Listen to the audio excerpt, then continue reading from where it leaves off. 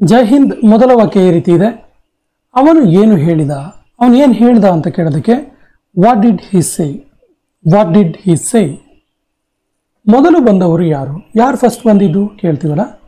Who came first who came first ನನಗೆ ತುಂಬ ಹಸಿವಾಗ್ತಿದೆ. ನನಗೆ ತುಂಬ ಹಸಿವಾಗ್ತಿದೆ. ಹಸಿವಾಗೋದಕ್ಕೂ ತುಂಬ ಹಸಿವಾಗೋದಕ್ಕೂ ವ್ಯತ್ಯಾಸ ಇದೆ ನೋಡಿ. ಸೊ ನನಗೆ ತುಂಬ ಹಸಿವಾಗ್ತಿದೆ ಅನ್ನೋದಕ್ಕೆ I am starving I am starving ಅದೇ ಹಸಿವಾಗ್ತಿದೆ ಅನ್ನೋದಕ್ಕೆ ಐ ಆಮ್ ಹಂಗ್ರಿ ಅಂತ ಹೇಳ್ತೀವಿ. ಅತಿಯಾದ ಹಸಿವಿದ್ದಾಗ ಸ್ಟಾವಿಂಗ್ ಅನ್ನೋ ವರ್ಡ್ ಹೇಳ್ತೀವಿ. ಸೊ ಐ ಆಮ್ ಸ್ಟಾವಿಂಗ್ ನನಗೆ ಮಾತಾಡಲು ಬಿಡು. ನನಗೆ ಮಾತಾಡಕ್ಕೆ ಬಿಡು ಅಂತ ಹೇಳ್ತೀವಲ್ಲ?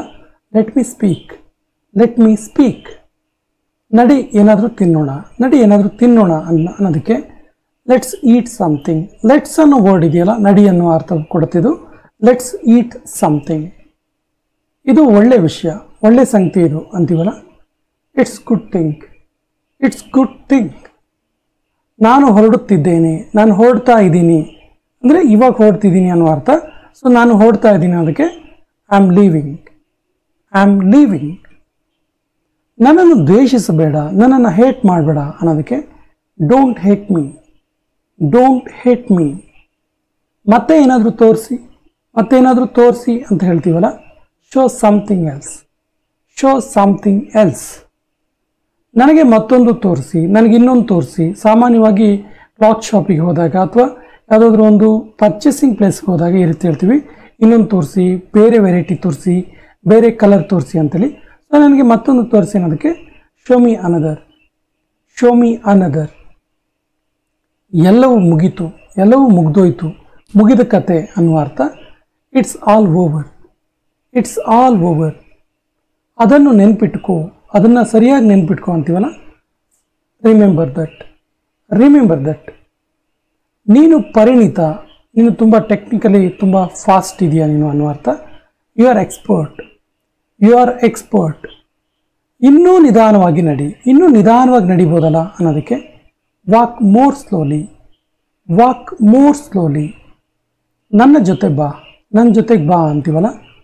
ಅಕಂಪನಿ ಅಕಂಪನಿ ಮೀ ಇದನ್ನ ಇನ್ನೊಂದು ರೀತಿ ಹೇಳ್ಬೋದು come with me come with me ಅಂದರೆ ಅಕಂಪನಿ ಮೀ ಅನ್ನೋ ಅರ್ಥನೇ ಬರುತ್ತೆ. ಸೊ ನನ್ನ ಜೊತೆಗೆ ಬಾ ಅಂತೇಳಿ.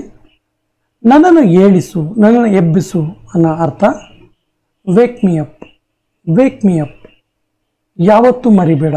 ಯಾವತ್ತೂ ಕೂಡ ಇದನ್ನ ಮರಿಬೇಡ ಅನ್ನೋದಕ್ಕೆ ನೆವರ್ ಫಾಗೆಟ್ ನೆವರ್ ಫಾಗೆಟ್ ಇದು ಸ್ವಲ್ಪ ದುಬಾರಿ, ಇದು ಸ್ವಲ್ಪ ಕಾಸ್ಟ್ಲಿ ಅನ್ನೋದಕ್ಕೆ it's a bit costly it's a bit costly ಇನ್ನು ಹೀಗೂ ಹೇಳ್ಬೋದು.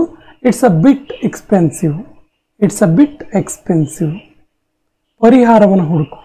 ಸೊಲ್ಯೂಷನ್ ಹುಡುಕು ಅನ್ನೋದಕ್ಕೆ find the solution find the solution ನನಗೆ ಹುಡುಕಲು ಬಿಡು. ನನಗೆ ಹುಡ್ಕೋಕೆ ಬಿಡು ಅಂತೀವಲ್ಲ? Let me search let me search ಇದು ತಪ್ಪು. ಇಟ್ಸ್ ರಾಂಗ್ ಇಟ್ಸ್ ರಾಂಗ್ ನನಗಿಂತ ಮುಂದೆ ನಡಿ, ನನಗಿಂತ ಸ್ವಲ್ಪ ಮುಂದೆ ನಡಿ ಅನ್ನೋದಕ್ಕೆ walk ahead of me walk ahead of me ಪ್ರಾಮಾಣಿಕನಾಗಿರು honest ಆಗಿರು ಅನ್ನುವ ಅರ್ಥ. ಹೀಗೂ ಹೇಳ್ತೀವಿ be polite be polite or be honest ಸರಿಯಾಗಿ ನಡಿ walk properly walk properly sit properly drink properly eat properly sing properly ಈ ರೀತಿ ರೈಟ್ ಪ್ರಾಪರ್ಲಿ ಸರಿಯಾಗಿ ಏನು ಅರ್ಥ ಬರೋದಾದರೆ ಪ್ರಾಪರ್ಲಿ ಯೂಸ್ ಮಾಡ್ತೀವಿ. ಅದರ ಹಿಂದೆ ಯಾವುದೇ ವರ್ಬನ್ನು ಯೂಸ್ ಮಾಡಿದ್ರು ಅದನ್ನು ಸರಿಯಾಗಿ ಮಾಡುವ ಅನ್ನೋ ಅರ್ಥ ಬರುತ್ತೆ. ವಾಕ್ ಪ್ರಾಪರ್ಲಿ ಅಂದರೆ ಸರಿಯಾಗಿ ನಡಿ. ರೈಟ್ ಪ್ರಾಪರ್ಲಿ ಅಂದರೆ ಸರಿಯಾಗಿ ಬರಿ. ಡ್ರಿಂಕ್ ಪ್ರಾಪರ್ಲಿ ಅಂದರೆ ಸರಿಯಾಗಿ ಕುಡಿ. ಸ್ಲೀಪ್ ಪ್ರಾಪರ್ಲಿ ಅಂದರೆ ಸರಿಯಾಗಿ ನಿದ್ದೆ ಮಾಡು. ಈ ರೀತಿ ಅರ್ಥ ಬರುತ್ತೆ. ಪ್ರಾಪರ್ಲಿ ಅಂದರೆ ಒಟ್ಟಾರೆಯಾಗಿ ಸರಿಯಾಗಿ ಅನ್ನೋ ಅರ್ಥ ಕೊಡುತ್ತೆ. ಕೇವಲ ಒಂದು ಸೆಕೆಂಡ್ ಜಸ್ಟ್ ಒನ್ ಸೆಕೆಂಡ್ ಅಂತೀವಲ್ಲ?